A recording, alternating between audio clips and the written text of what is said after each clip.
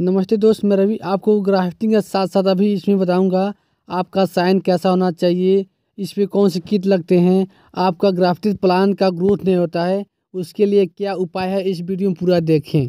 जो आप साइन लें, वो आपका आम फल देता हो, उसका साइन लेना चाहिए। और साइन कैसा होना चाहिए, ये देखिए, साइन में बद आ गया है और उसमें अब लगे प्रेशर निकलने वाला है तो आप उसको ग्राफ्टिंग कर सकते हैं। और ग्राफ्टिंग करने से पहले क्या क्या करना चाहिए? ये देखिए जो हमने इतना ज़्यादा इकट्ठा किए हैं काट के, और उसको किसमें रखा जाए, ये देखिए पहले। आप कभी साइन लिए सुबह में काटिए या तो दोपहर में, तुरंत काट के पोलिथीन में पैक कर दीजिए। पैक करने से पौधे डैमेज नहीं होते हैं ना ही साइन खराब होती है। आप उसको जल्द से जल्द ग्राफ्टिंग कर दें। क्योंकि जो मौसम, जून का मौसम होता है ना, उसमें आप ग्राफ्टिंग क्या क्या सावधानियाँ करना है तो आपको इस मैं वीडियो में बताऊँगा। आप मेरे वीडियो बने रहें। आप मेरे चैनल बने हैं तो लाइक करें, रेड वाला बटन को सब्सक्राइब करें। मैं आपका दोस्त रवि।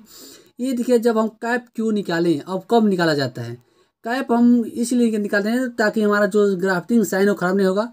नमस्ते दोस्त, मैं रवि। ये देखिए, हमने जो ग्राफ्टिंग की है ना, उसमें देखिए सेकेंड स्टेप निकल चुका है ग्राफ्टिंग के ऊपर।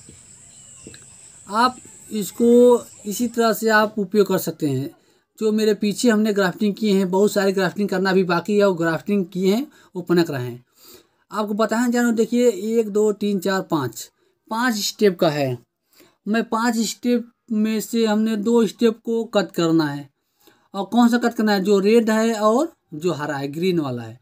उसको हमको कट करने के बाद इसमें मैं ज्वाइन करूँगा। ज्वाइन करने से पहले आप अच्छी तरह समझ लें, जो गुठली वाला पौधा होता है, जो मदर रूट होता है, क्योंकि वह पतला रहेगा, जो हमने जो फल देता है, जो साइन लिए है ना, वह मोटा यानी दोगुना रहेगा तो चल जाएगा, जिससे वो पकड़ में अच्छा रहता है। कभी भी साइन को कट करें, एक इंची या दो इंची लंबाई कर लीजिए।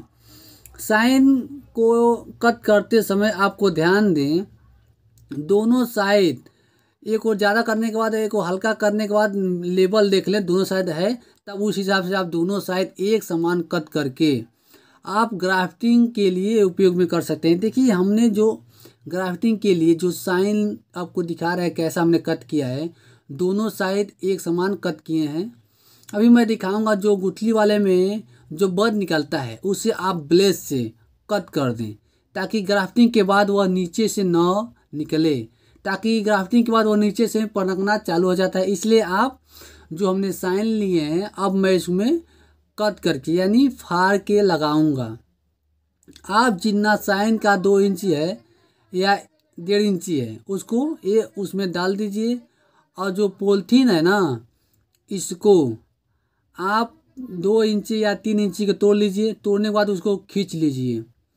अब जा, बहुत ज़्यादा ना खींच के बांधें आप मीडियम में खींच के बांधें। ज़्यादा खींच के बांधेंगे तो आपका पौधे डैमेज और ख़राब हो जाएँगे। आपको मेरा ये वीडियो कैसा लगा कमेंट अवश्य करें।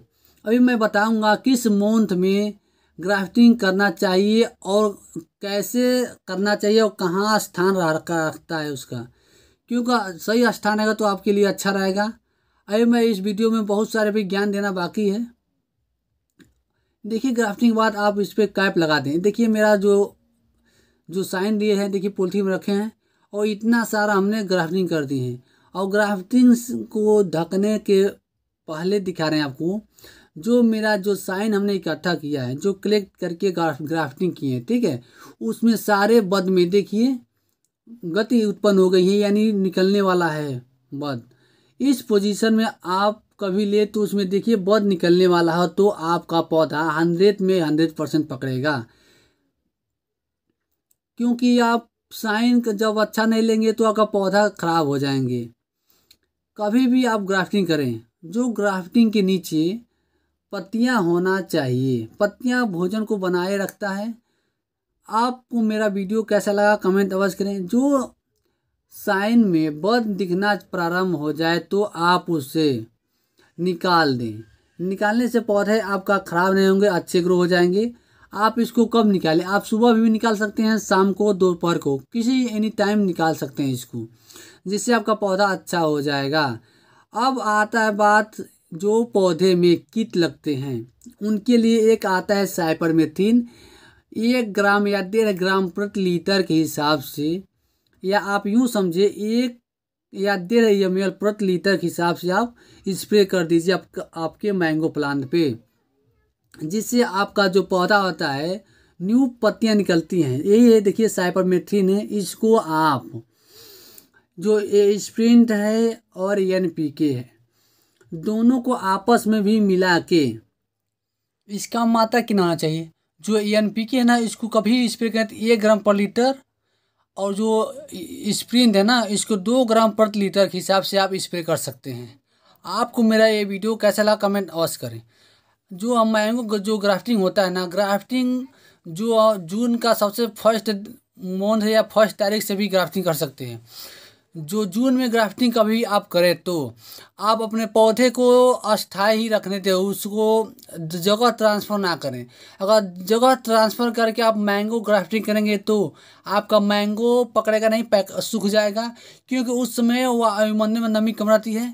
आपको मेरा वीडियो एक कैसा लगा कमेंट करें। मैं आपका दोस्त रवि। फंगिसाइड पंद्रह दिन पर एक बार और एन पी के महीने में